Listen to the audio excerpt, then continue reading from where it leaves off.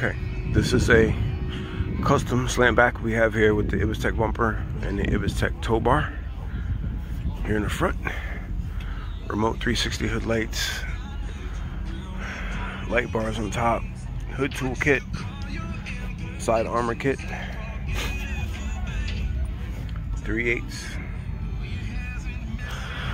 digital paint, cupola, turret,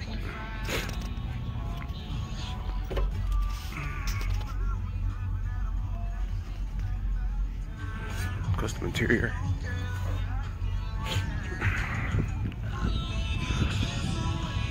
Tire carrier airlift bumper.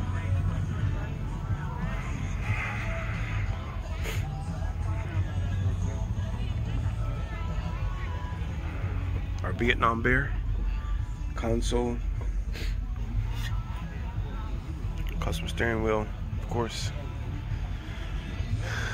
24 bolt wheels. There she is.